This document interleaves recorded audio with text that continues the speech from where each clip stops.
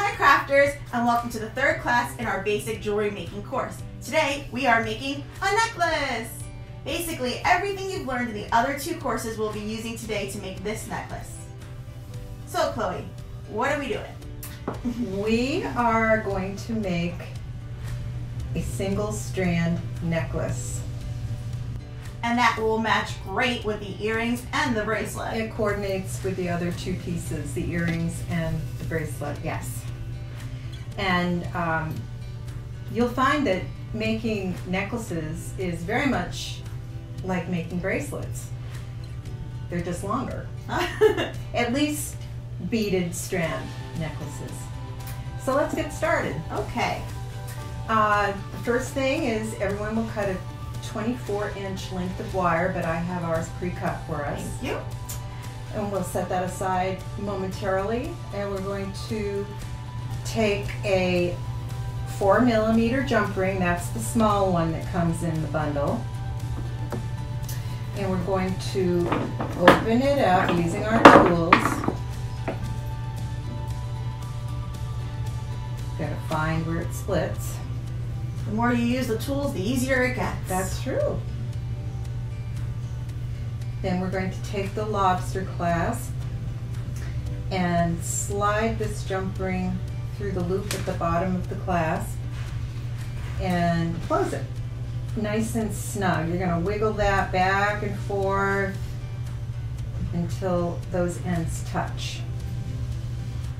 Let me know when you are done. Still wiggling. Ah, there you go. Yeah. Great. Next, we're going to take the beading wire, slide on a crimp tube, slide the end of the wire through that jump ring that's attached to the lobster clasp, bring it around and back through the crimp tube, very much like we did, same technique that we used for the bracelet. Mm-hmm. Then we're going to grab the needle nose pliers. Okay. And we're going to slide that crimp tube snug up against the jump ring.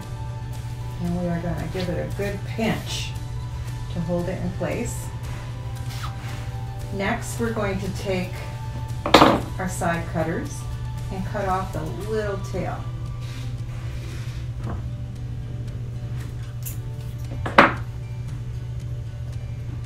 How you doing, Amie? Okay. There you go. Great. Next, we're going to start stringing on beads. And you follow me in order, I'll tell you what we're going to start with. Sounds good. Let me know when you're ready. I am ready. And once again, we're going to try to select similar size and shaped beads, although this is bohemian and it's not going to be perfect. That's part of its mm-hmm. charm. So we're going to start with five yellow.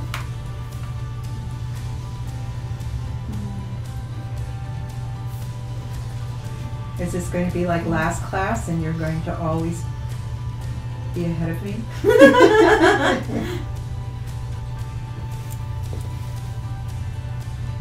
Then one turquoise, one bronze,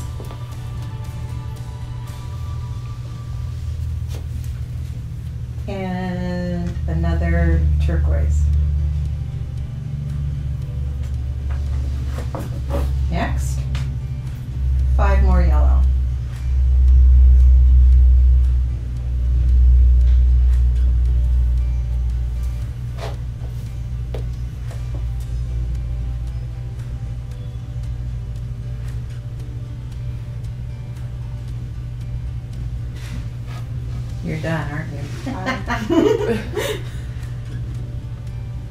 Next, five bronze.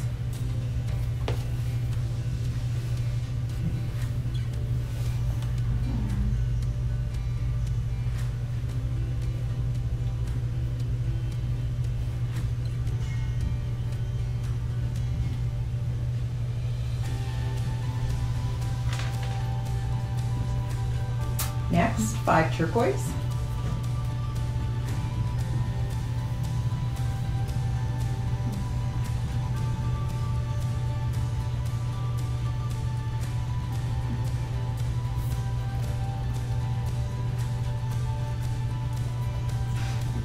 One yellow. That one. One yellow, one bronze, another yellow,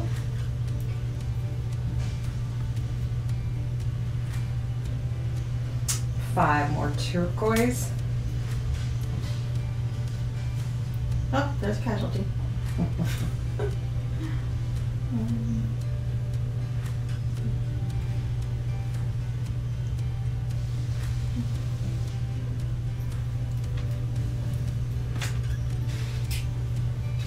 and five more bronze.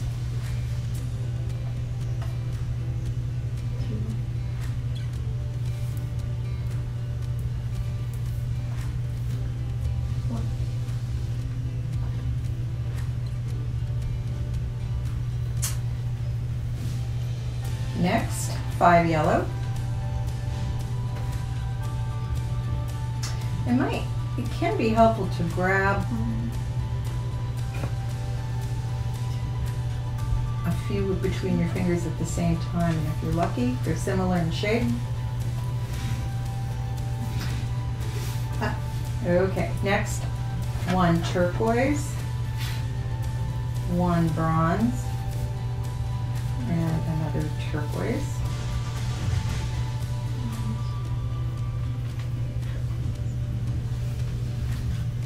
Then five more yellow.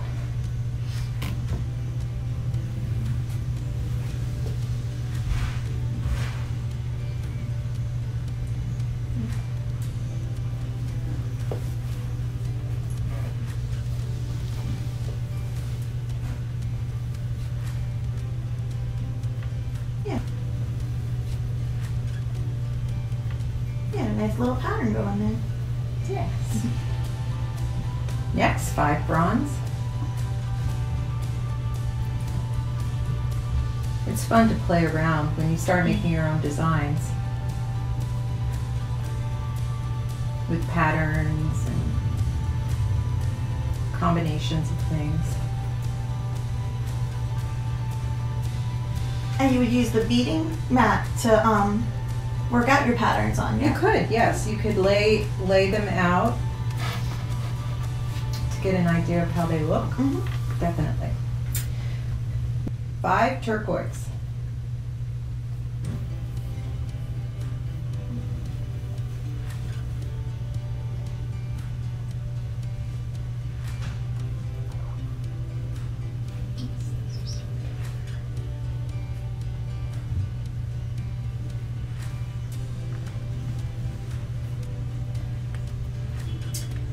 Then one yellow, one bronze, one yellow.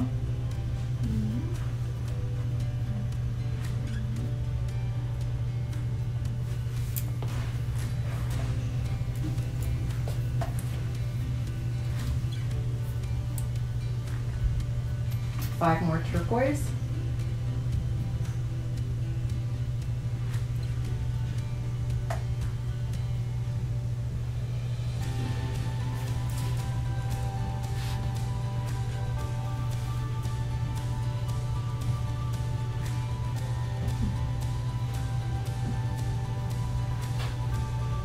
And five bronze.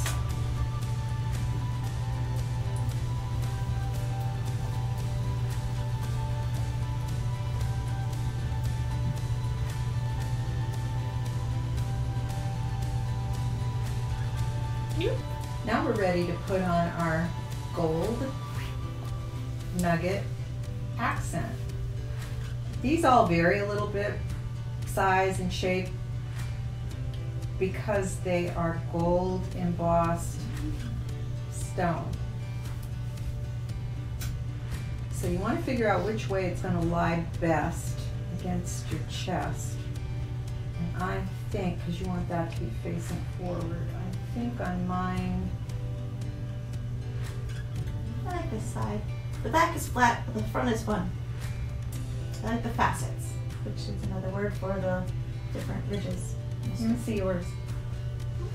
Oh, yeah. Okay, everyone, at this point, all you have to do to complete the necklace is bead the same pattern we just did, but in reverse. I'll insert a photo of the completed necklace here so you can pause the video and use this as a guide. When you're done beading, be sure to unpause the video so we can complete the necklace together. Okay, the last thing we're going to do is attach, use a crimp tube to attach this six millimeter jump ring to the other end of the necklace. Now I see that my jump ring is not really together. So I'm going to take my tool, uh, my needle nose pliers and my three in one and I'm just going to wiggle the ends so those line up use my pliers to help me. Now it's nice and snug. Take the crimp tube, slide it down, go through the jump ring. Oops.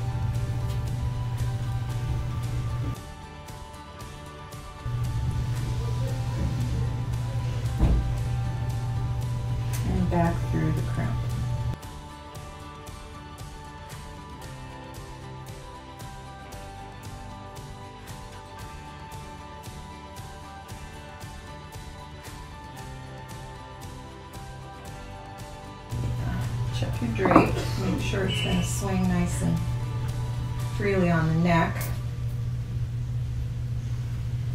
Grab your needle nose pliers and squeeze that crimp closed, nice and snug.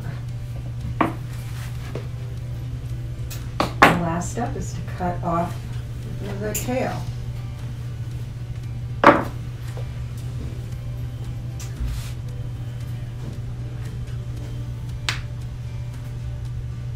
Oh, sometimes there's another little trick. Sometimes lobster clasps can be difficult to open mm-hmm. the first time. So whenever that happens, I take my needle nose pliers and they help me because mine just did that to me. It did eventually open, but and I just open that with my pliers, and then that takes care of the problem. So pretty. You made a necklace! I made a necklace. Ta-da! Oh wow, this is awesome. Let me add it to my ensemble.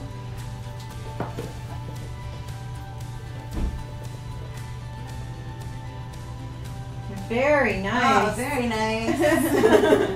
Great. Oh, and another, uh, just another note is if anybody wanted to make this necklace longer or shorter, more like a choker, you would just add fewer beads or more, and you would just keep continuing the same pattern if you wanted it longer. oh, it's lovely.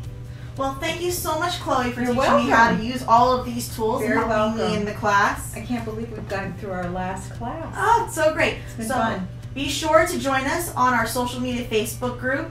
Share your designs. Could you be our crafter of the week? Win a prize? Maybe. Very exciting. Maybe. And if you crafters have any ideas of any jewelry classes you'd like to see in the future, please comment below. And your class idea could be our next class. So, thanks again and hope to see you in the next class. Bye. Bye.